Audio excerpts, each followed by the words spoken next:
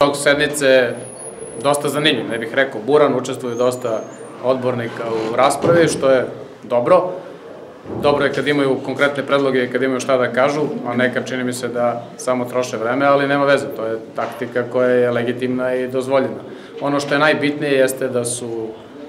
planovi i programi javnih preduzeća, da su planovi i programi ustanova kultura usvojeni i da svi mogu već od 1. januara sledeće godine da startuju da ostvaruju te planove. Na prošloj sednici smo usvojili budžet koji garantuje da planovi ustanova kultura i ustanova koje se finansiraju iz budžeta, kao što je preškolska ustanova Čekojeva Zmaj, e, će se stabilno realizovati i to je najvažnije, najvažnija činjenica na ovoj sednici.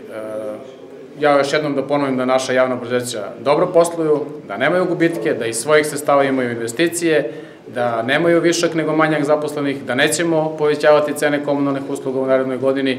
i čudi me da uproko svim tim